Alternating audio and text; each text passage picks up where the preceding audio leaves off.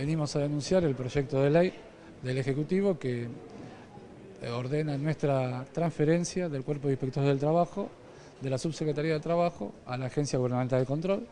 y la asignación de nuestras funciones y facultades a dicha agencia. Al pasarnos a un organismo sin competencia constitucional para realizar dicha función, quedaríamos con las manos atadas virtualmente, porque cualquier acta que podamos hacer, donde encontremos trabajo precarizado o trabajo en negro o delitos, eh, nuestras actas serían declaradas nulas, pues, les vuelvo a repetir, la agencia no tiene eh, la facultad constitucional para realizar dichas inspecciones, sino que es de la Subsecretaría de Trabajo y Empleo de la Ciudad de Buenos Aires. La gravedad de lo que está sucediendo es que la ciudad se quedaría eh, sin inspección de un trabajo decente, sin inspecciones de todo lo que tiene que ver con la trata,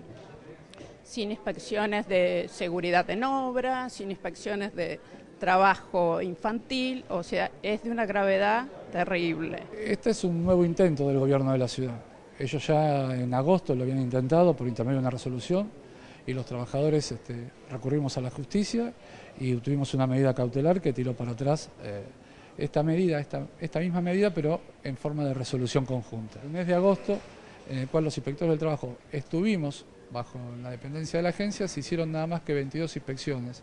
cuando por promedio la Dirección General de Protección de Trabajo realiza 300 inspecciones diarias. En realidad lo que se tendría que hacer es profundizar el cuerpo de inspecciones laborales y no directamente vaciarlo del contenido. Otra de las cosas gravísimas que, estamos denunciando es que eh, lo que se manda es el cuerpo inspectivo por un lado y las autoridades quedan por el otro. Estamos acá acompañando el reclamo de los trabajadores porque estamos totalmente convencidos de que acá están vulnerando y están modificando todo lo que es una, una, acción de gobierno en la Ciudad de Buenos Aires y porque desde nuestros bloques han firmado el despacho en minoría para que el proyecto de ley del macrismo eh, vaya a archivo, con lo cual nosotros no vamos a acompañar el proyecto que bajó el oficialismo de la ciudad. Han sido muchos los reclamos que hemos obtenido, que nos llegan al despacho, en este caso como diputada, de eh, bastantes manejos irregulares con respecto a las inspecciones y con respecto